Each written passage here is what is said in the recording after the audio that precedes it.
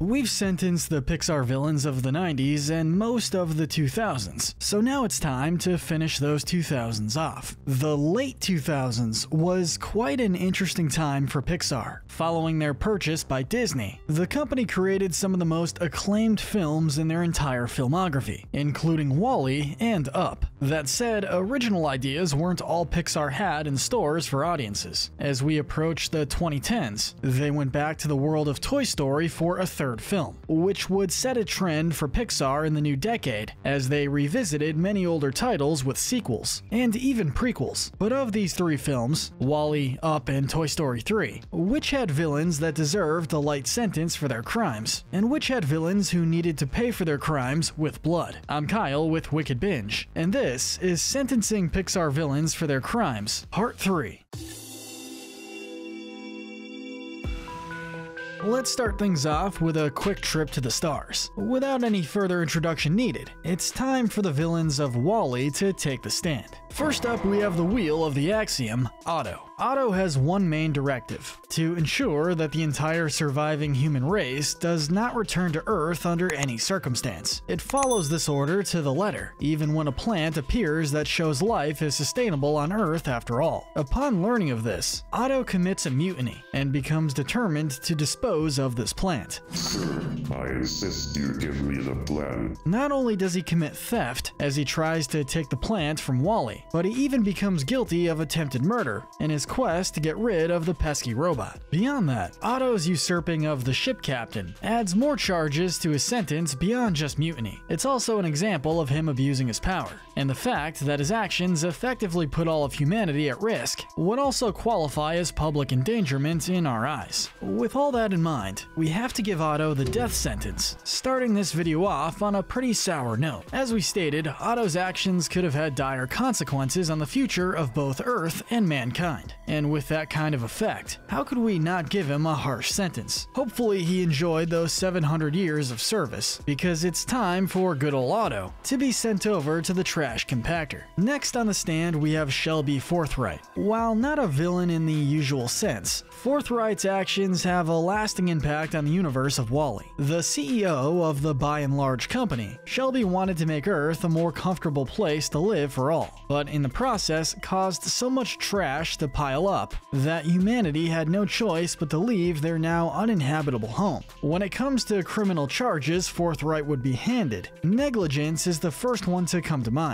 He allowed trash to keep building up more and more until it became too much to handle. Had he been paying better attention, he could have fought the pollution battle a whole lot earlier, and maybe prevented things from getting out of hand in the way that he did. Operation Cleanup has, well, uh, failed. Littering also feels like a natural charge that should be counted towards his sentence. He is directly responsible for all the trash that is built up and consumed the planet. Could we call that anything else but littering? How about mass pollution? In conclusion, Forthright's actions have had dire consequences on humanity for hundreds of years, and as such, we sentence him to 70 years in prison. We originally considered giving Shelby a much more lenient sentence, but once you start to realize that everything in the movie was more or less because of him, it becomes hard to give him the benefit of the doubt. At the very least, he should be happy he doesn't have to endure 700 years of solitude, like the survivors of the human race did. Finishing up the fiends of WALL-E brings us to what some would consider to be an odd choice, Captain McCrea. The captain of the Axiom, McCrea, definitely gets his heroic moments, but they only come after a lot of negligence on his part. He, like a lot of the other captains before him, has grown complacent by the time the film begins. That complacency and negligence are what truly allowed AUTO to thrive as the real captain of the ship, which nearly doomed the surviving human race as a result. His sense of complacency is also why he didn't know anything about Earth. He had no reason to learn about a planet it seemed like was truly gone forever. Still, while we've pointed the finger at him for a while, he still plays an invaluable role in the Axiom's return to Earth. He learns to do things on his own without the need for a machine, defeated AUTO, and pilots the Axiom back home. With all of these things in mind, we've decided to give him a pardon. We went with this because while he did indeed display negligence, the same is true for all the preceding ship captains. His showcase of bravery and heroism, however, is unique to him. While he's far from perfect, we don't think the Axiom could have asked for a better captain during its voyage back to Earth. Now we move away from the stars and back down to the clouds for the next film, Up.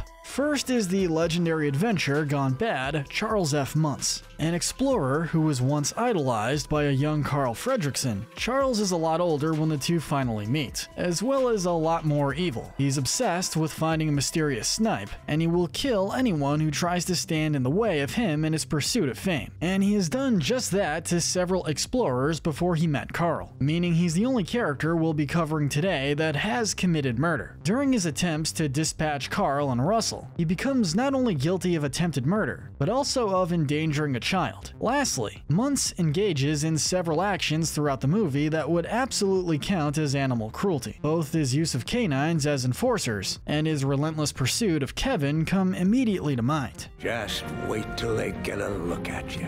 A villain who is cruel to anybody he encounters. Charles Muntz is yet another villain who gets the unfortunate distinction of receiving the death penalty with his manner of execution being firing squad. As the only villain in this crop of films to successfully carry out a murder, even if only implied, it would be hard to argue that Muntz deserves anything less for his crimes. Charles Muntz isn't alone in his mission, however. He also utilizes a trio of guard dogs, which soon prove to be just as dangerous as he is. The leader of this pack is also the next character we'll be covering, Alpha. Alpha is saddled with a not too intimidating chipmunk voice, but don't let that fool you. Not just continue sitting.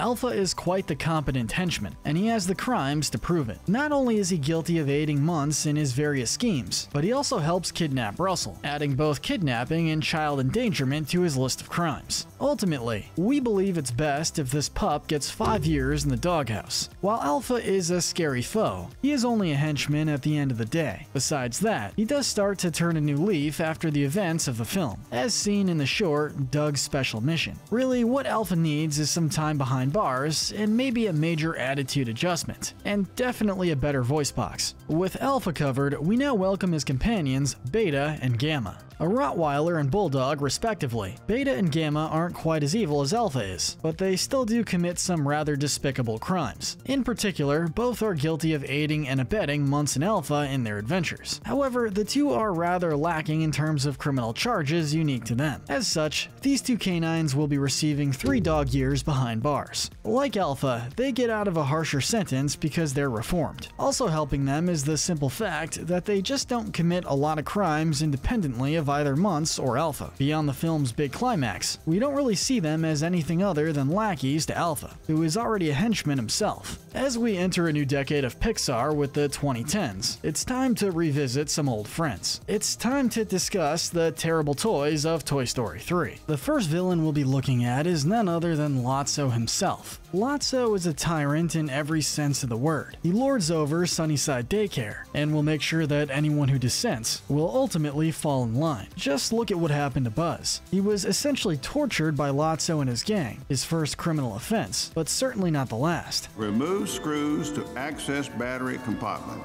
Throughout the film, Lotso assaults Woody and several of the other toys as they try to escape from the daycare. Most despicable of all, however, is he tries to murder all of Andy's toys when he leaves them in the incinerator. As a whole, Lotso is a great example of an individual abusing their power. Rather than being a kind and generous leader to the Sunnyside daycare, he rules through fear and terror. He operates a dangerous class system where those most loyal to him are benefited, and the rest of the toys are left to fend for themselves themselves. As a result, we give this Huggin Bear a life sentence. Lotso's daycare is essentially a prison for all toys that don't fit into Lotso's inner circle, so it's only appropriate that he gets a punishment equal to that. At the very least, we do think it's preferable to being attached to the front of a garbage truck. Next is the brawn to Lotso's brains, Big Baby. Big Baby started life as another toy owned by the same girl who had Lotso, until the two were lost during a trip. After that, Lotso became bitter towards kids, and the same held true for Big Baby. In regards to criminal offenses, Big Baby is most notably guilty of aiding and abetting Lotso in every step of his evil plans, from kidnapping Buzz to pursuing Andy's toys as they attempt to escape. He'll help Lotso through anything,